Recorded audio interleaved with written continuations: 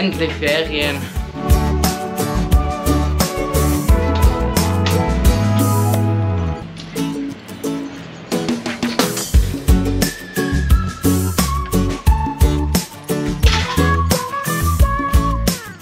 Endlich Urlaub. So, jetzt noch schnell essen, bevor es losgeht.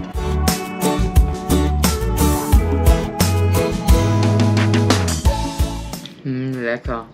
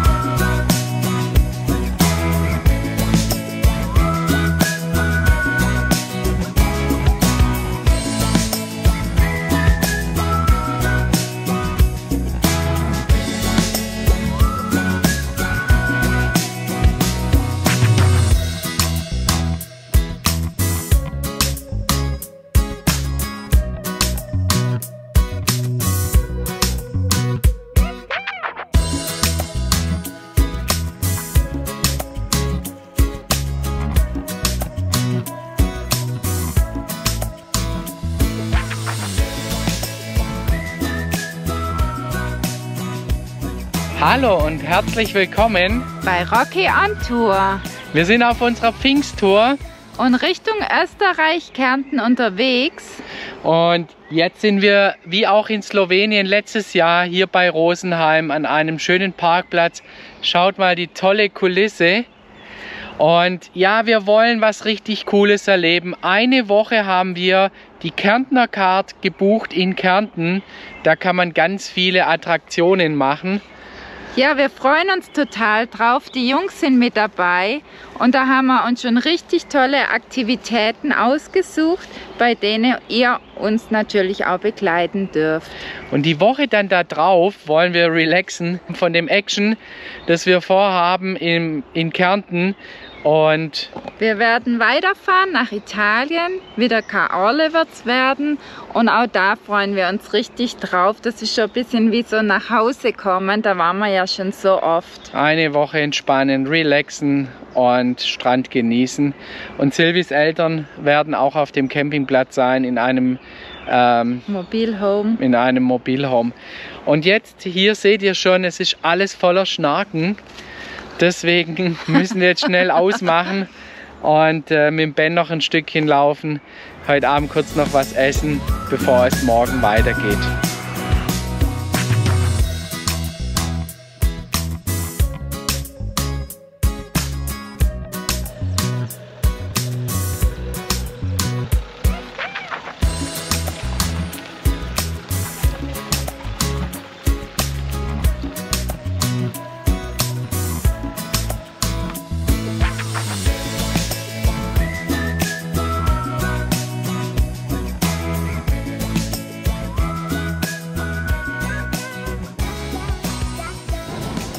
Hey Leute, es ist einfach zum Verzweifeln, weil wir stecken hier im massiven Stau. Alles vollgeknallt. Hier Google sagt Stunde da, Stunde dort, Verzögerung. Wir sind heute Morgen um 8 Uhr wirklich rechtzeitig los, weil wir gedacht haben, hey, dass wir gut durchkommen. Aber irgendwie zunehmend habe ich den Eindruck, Pfingsten wird umso voller von Jahr zu Jahr. Ähm, und wir haben auch extra jetzt einen Stellplatz gebucht. Den haben wir uns reservieren lassen ab Montag. Ähm, und in Italien haben wir uns auch einen Campingplatz reservieren lassen. Wir sind so lange ohne Reservierung gefahren und jetzt, ja, es hilft einfach nichts. Jetzt muss man wieder reservieren, weil es nicht anders hinhaut. Auf jeden Fall wollte ich sagen, dass wir die Kärntner Karte haben, haben wir gestern kurz erwähnt. Und da zahlt man für eine Woche einen gewissen Beitrag und hat dann bei ganz vielen Partnern freien Eintritt. Und heute hoffentlich schaffen wir das durch den Stau, dass wir zu dem 3D Bogenparcours fahren, der überhalb vom Millstädter See ist. Und der geht drei Stunden und macht um 5 um 17 Uhr zu und wir haben jetzt 9.38 Uhr und die Straße ist knallevoll. Wir hoffen, dass wir es schaffen und werden euch nachher sagen, ob das geklappt hat.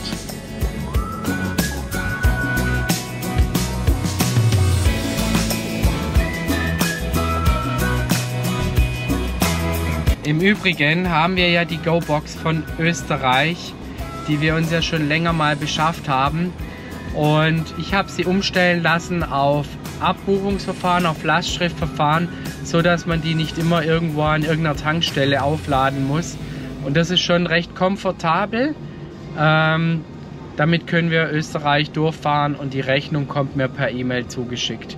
Dieses Ummeldeverfahren kann man direkt auf der, äh, auf der Seite, auf der Homepage machen von der GoBox.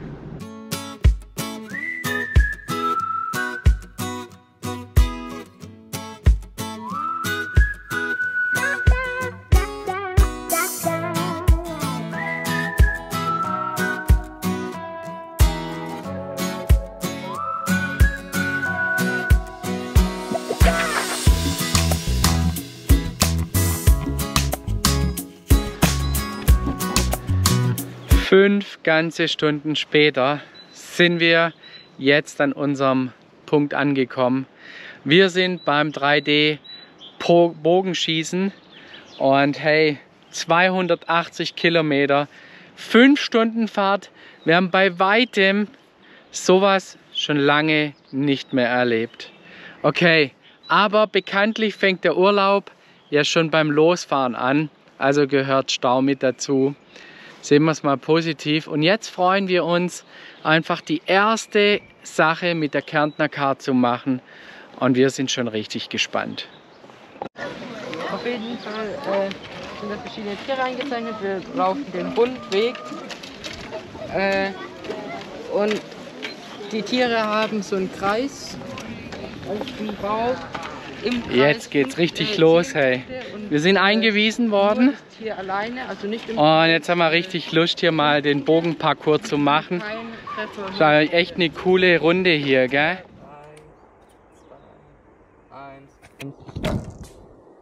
Der war gut.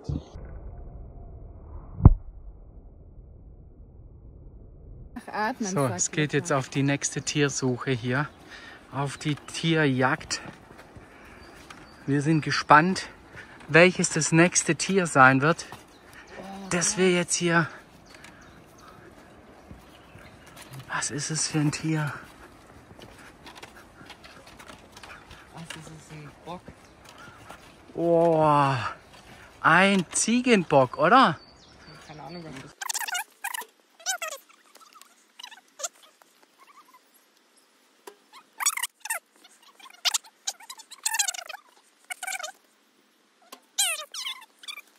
Hey, diesen Bock. Hab ich gedacht, ich habe ihn erlegt.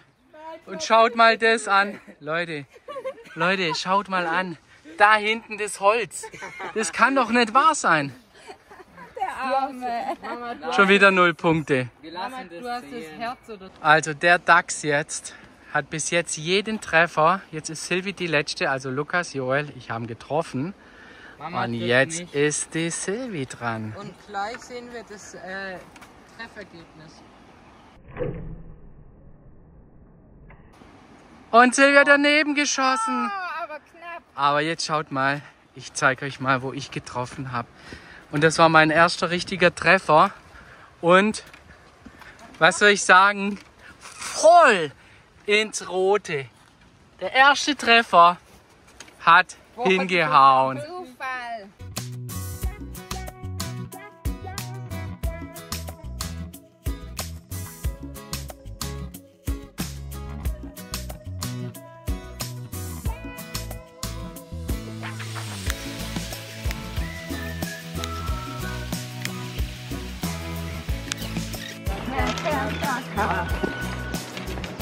Also, dieser Parcours hat richtig viel Spaß gemacht.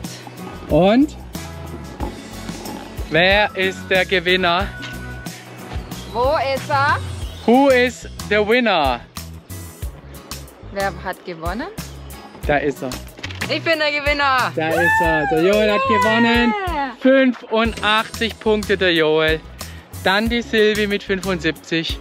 Dann habe ich mit, glaube 65 und Ja, Lukas dann- mit 60. Ja, aber trotzdem, irgendwie weiß ich nicht, ob die hier alle so richtig gespielt haben. Auf jeden Fall hat es richtig Bock gemacht. Ja, kann man dir, nur Lukas? empfehlen. Hat Spaß gemacht.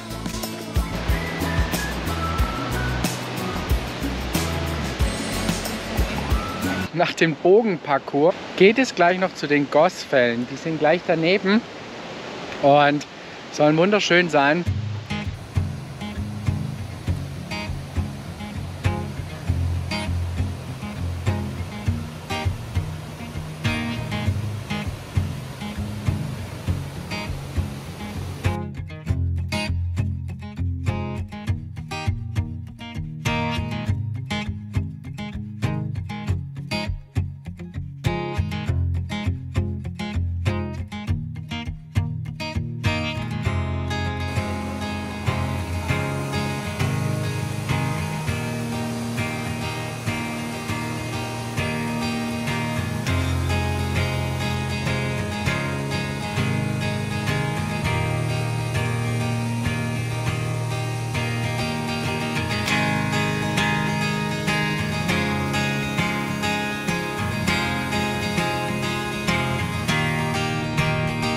So, wir sind schon wieder unterwegs. Es geht weiter zur Groppensteinschlucht und zur, wie heißt die andere?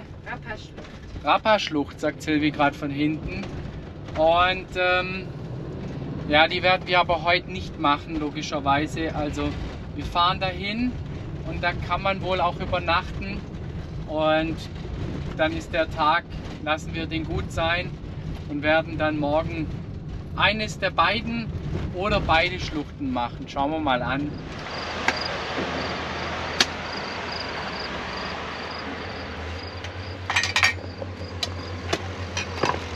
So, wir sind jetzt an dem schönen Stellplatz hier an den Wasserfällen angekommen.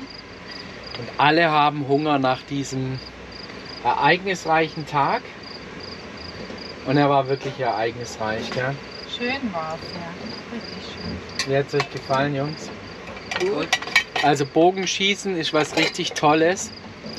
Das merken wir uns auf jeden Fall. Ja, wir essen jetzt hier so aus allerlei jetzt irgendwas, gell? Ja. Reste One-Pot-Pfanne. Genau, so ein bisschen Kartoffel und Wurst reingeschnippelt, dann ein bisschen Tomate, Grüße. Käse, Joghurt. Ja, die Reste müssen einfach weg. Ja, ich denke mal, den Tag schließen wir. Und morgen geht es dann zu den Wasserfällen. Und da sind wir schon mal richtig gespannt. Tag, so richtig der Tag 2 startet dann morgen. Also, bis denn. Einen wunderschönen guten Morgen von unserem Übernachtungsplatz. Hier haben wir übernächtigt. Direkt am Fluss im Hintergrund hört ihr das. Aber es war nicht störend, sondern es war echt beruhigend so zu schlafen. Und heute machen wir uns auf an diesem Tag zur Raga-Schlucht und wollen da den Tag über eine kleine Wanderung machen und tolle Bilder einfangen. Und nach dem Frühstück geht's los. Und wir sind schon sehr gespannt.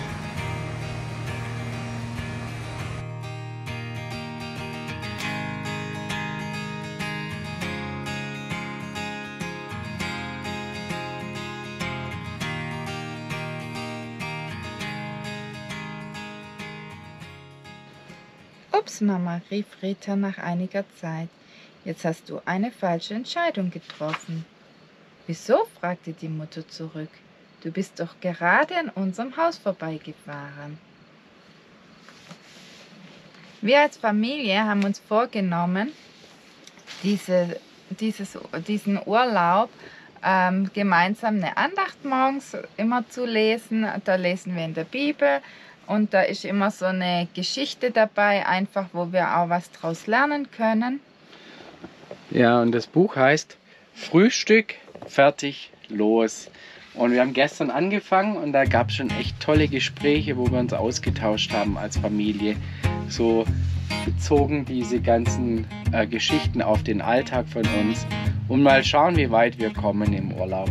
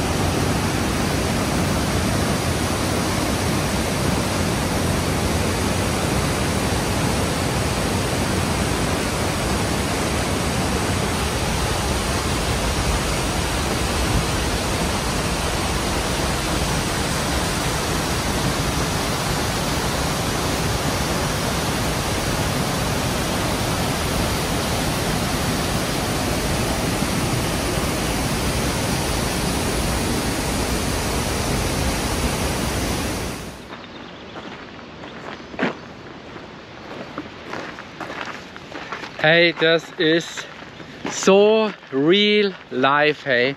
Man muss das echt gesehen haben. Die Jungs, die lachen schon, weil ich das sag, aber ihr kennt meinen Spruch. Es ist so gigantisch. So gigantisch schön. Und ja, was soll man sagen? Mhm. Wir können es euch echt empfehlen, dahin zu gehen. Zu dieser Raga-Schlucht. Raga-Schlucht, ja. Es war ist eine ganz tolle Schlucht. Allerdings ist es in der Schlucht richtig, richtig laut, finde ich. Also die Wassermassen, die tosen da runter. Und ähm, auch vom Laufen her, man muss auf so Stege gehen, wo Ja, man äh, immer die Bretter praktisch hochsteigen muss, wie so Treppen. Es ist Also- ein bisschen rutschig, Aber man, Silvi dramatisiert ein bisschen. Nein, man, ich, was ich sagen wollte, man kann nicht mit dem Kinderwagen hierher kommen. Ja, das geht Und man natürlich sollte wirklich trittfest sein. nicht. Ja, aber sicher. Leute, egal wie, schaut es euch an, weil wir können es echt nur empfehlen. Hey, ich weiß nicht, aber vielleicht, also so eine Schlucht, wir haben schon ein paar gesehen, aber vielleicht, also die zählt auf jeden Fall zu einer der besten. Und ja, jetzt wird es irgendwo weitergehen hier in Kärnten mit der Kärntner Card. Und äh, wir schauen einfach mal, was wir heute an den Tag, wir haben gerade mal 11 Uhr und da dankt sich das frühe Aufstehen, obwohl wir auch erst um halb zehn losgekommen sind. Gell? Echt? Okay. Aber ja, es geht jetzt weiter.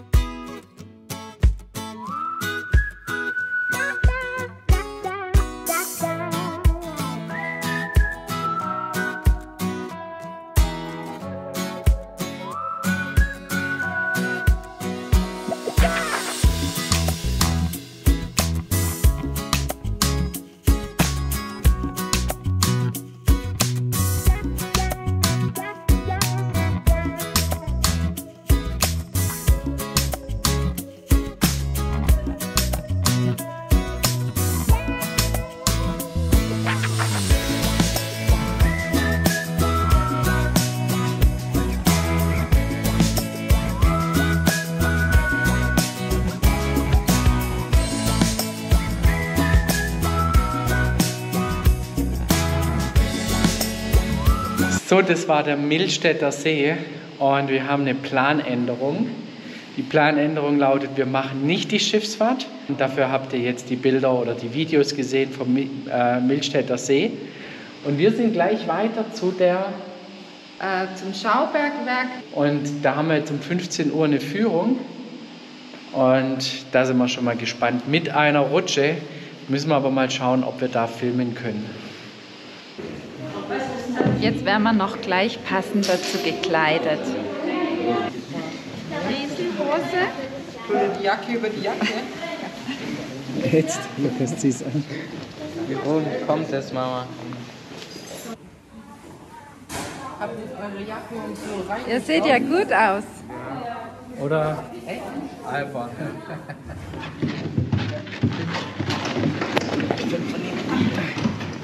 Zwei, zu dritt, zu viert. So vorne festhalten, du auch. Ja, vorne.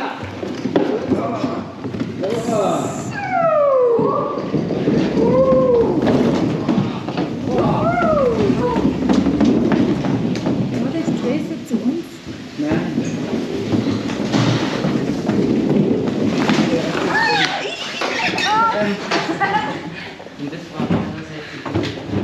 69 Meter runtergerutscht. Und? War nicht so schlimm. Ich dachte, das wäre total schnell. Ja, das war voll langweilig.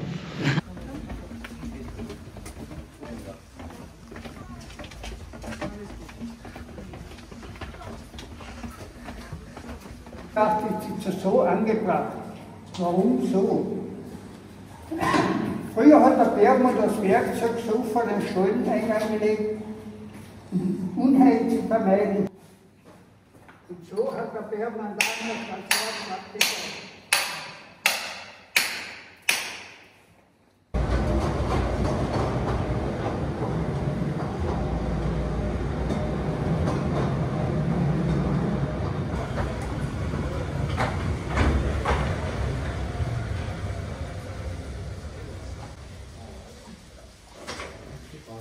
Endstation.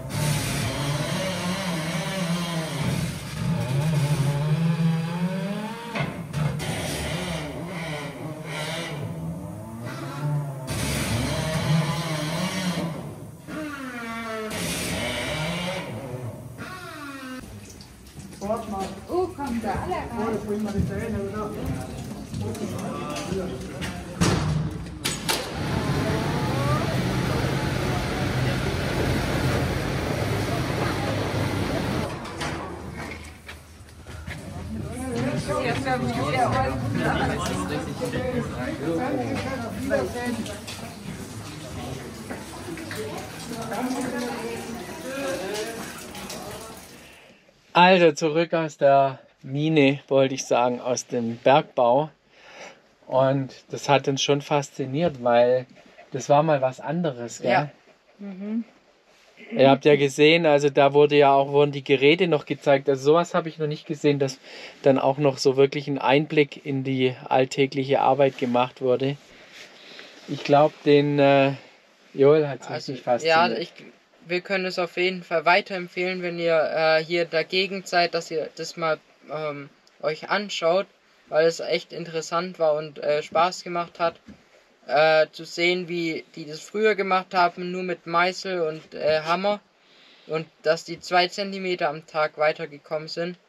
Und äh, dann später mit Sprengungen und äh, das alles weg, also mit so äh, Maschinen. Weggebracht haben und so. Und das hat auch, auch fortgeführt. Äh, das war echt cool. Ja, war richtig cool und wir ähm, bleiben jetzt einfach hier. Ja. Verbringen den Tag hier voll. gell? Ja, genau, unterhalb von dem, äh, von dem Bergbau ist hier so ein Parkplatz, da verbringen wir jetzt noch den Tag, essen was. Und ja, ich würde sagen, morgen geht es hier weiter dann. Ja. So, jetzt muss ich euch doch noch mal eine Sache zeigen, weil wir jetzt wieder hier draußen bewusst auf dem Omnia kochen, damit die Wärme nicht im Wohnmobil ist. Und heute haben wir so einen richtig schönen Schinken-Nudelauflauf. Und den muss ich euch mal kurz zeigen. Wow, das sieht schon richtig lecker aus. Und da wartet noch ein zweiter Omnia, den wir nachher machen.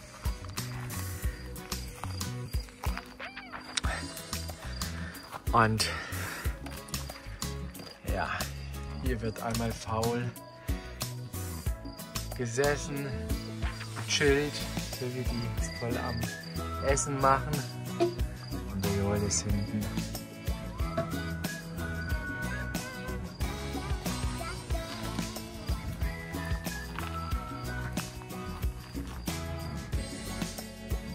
So sieht es fertig aus.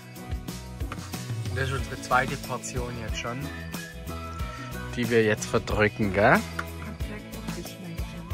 Wie hat die erste geschmeckt, Lukas? Sehr gut. Guten Appetit.